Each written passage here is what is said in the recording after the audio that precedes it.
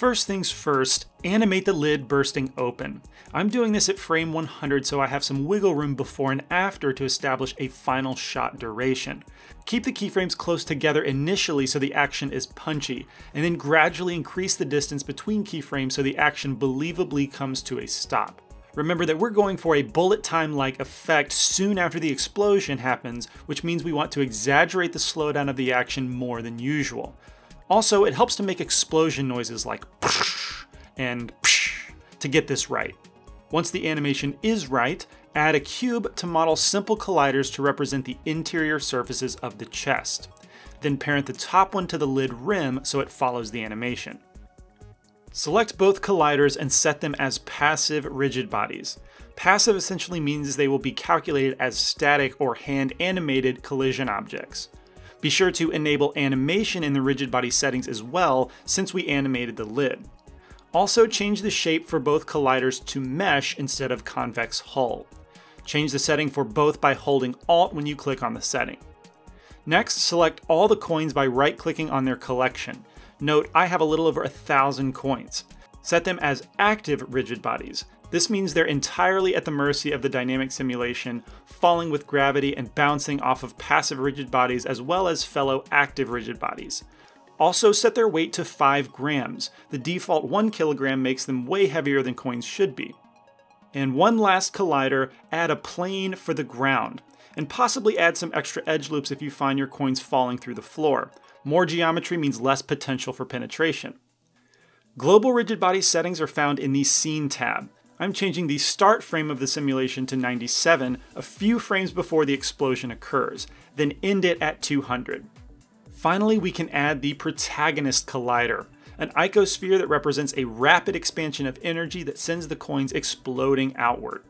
I first keyframe the object scaled down 4 frames before the explosion, then scale it up at the point of explosion, and scale back down 4 frames after so it stays out of the way of the bouncing coins. Hit play in the viewport to watch the simulation occur, and if your burst is underwhelming, increase the scale up keyframe of the icosphere. I also found that the coins burst too far outward and leave the camera frame too much, so I duplicate the icosphere so the energy keeps most of the coins central. Again, explosion noises are crucial to dialing in this effect correctly. Let's clean up the scene a little bit by adding all the colliders to a collection that can easily be hidden in the viewport and in the render. If you have any problematic coins pass through the colliders like I do, simply disable it from the viewport and from the render. Easily focus on any specific coins with the period key on the number pad in the outliner.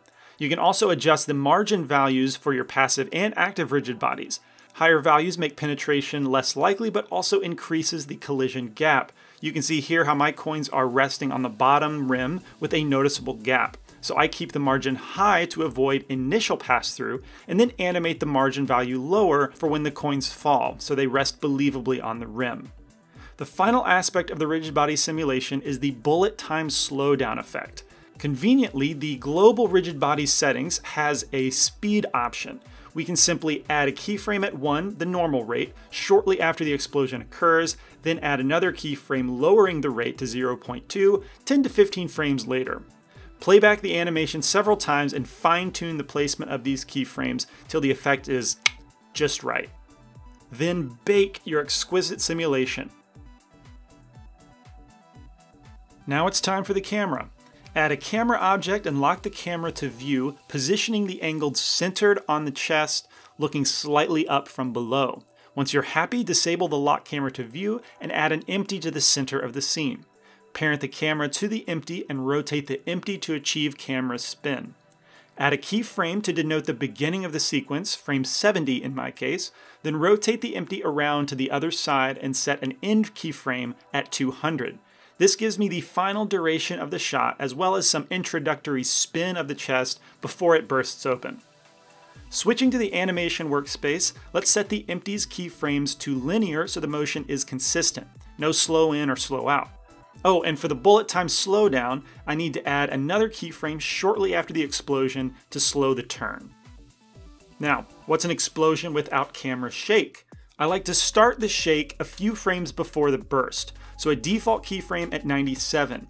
Then every two or three frames, add a new keyframe randomizing the camera's angle. After three close together, I start spreading new keyframes further apart, slightly diminishing the angle differences of each. Finally, shake frames 6 and 7 are spread much further apart to cover both the slowdown of the shake and the slowdown of bullet time. Lastly, I slowly rotate the camera upward to follow the coins, smoothing their F-curves to taste. For lighting, I like to start with a nighttime HDRI environment texture. This yellow is not what I'm looking for, so I hue shift it to blue in the shading workspace. Then we can enable the usual Eevee suspects like ambient occlusion and screen space reflections. I'm starting with a cool world and then adding really warm lights to both sides of the chest. I'm keeping things stylized and saturated. One more light from the upper back, a cool blue light, and then select all lights and alt click to enable contact shadows for each one. For this shot, I want to do almost everything in the render, including a background gradient plane. To do this, I look through the camera and add a plane and choose to align it to view.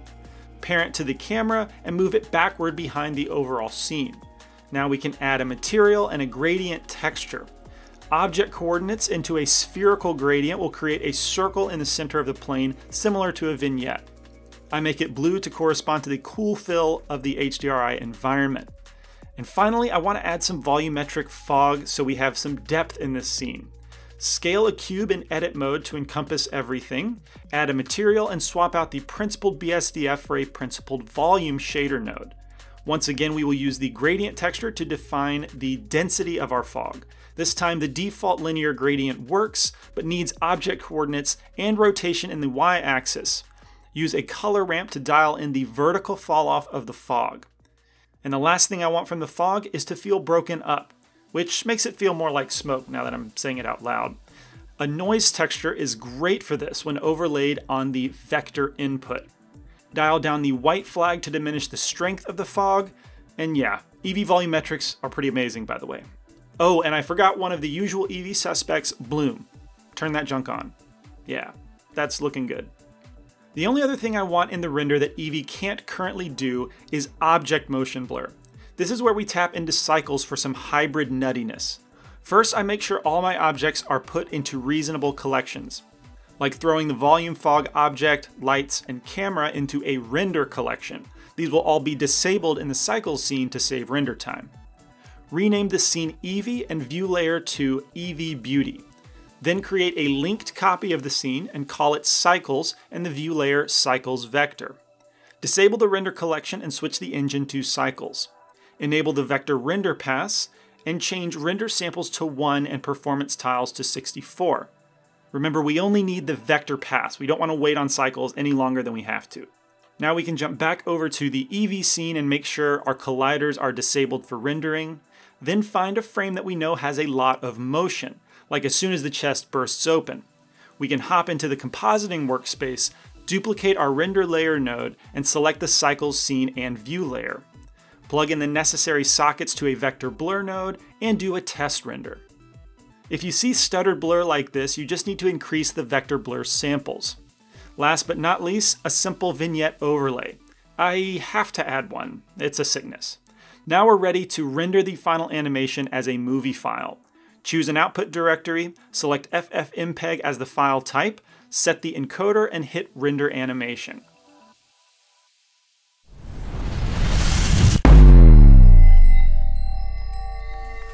If you like the Treasure Chest project, there's a lot more where this comes from. Be sure to check out the full, in-depth, and real-time courses at cgcookie.com, covering modeling, texturing, shading, rendering, rigging, and animation with Blender 2.8.